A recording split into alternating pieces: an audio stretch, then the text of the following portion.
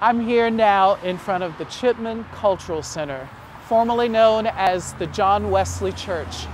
It dates back to 1837 and was purchased by freedmen who had the intention of having a place for enslaved people to meet, worship, and go to school.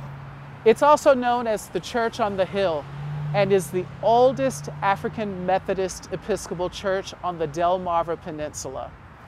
But even before the structure was built, the enslaved people of Salisbury would meet behind here in the meadow to worship and sing.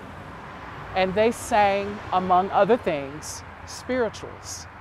And we today, to honor them, we do the same. Lord,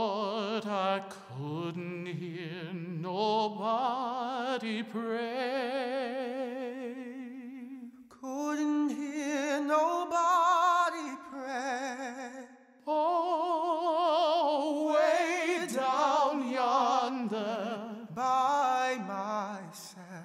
and I couldn't hear nobody pray. Lord, I Couldn't hear nobody pray.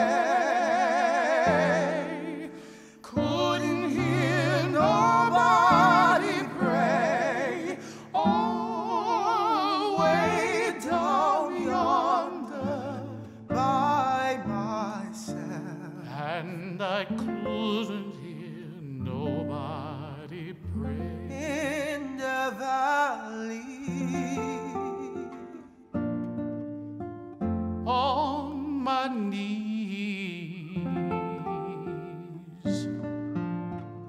with my burden,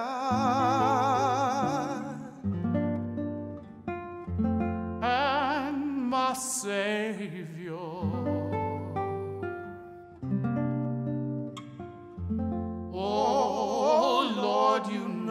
I couldn't hear nobody pray.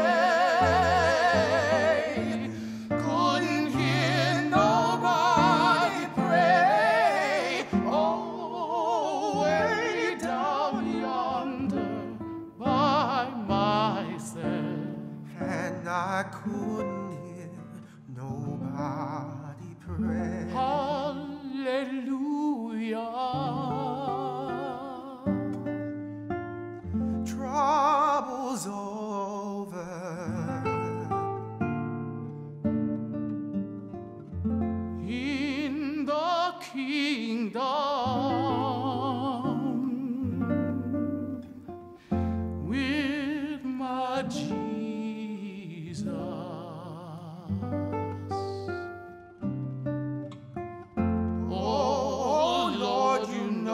I couldn't hear nobody pray. Oh, know couldn't hear nobody pray. Oh, way down yonder by myself, and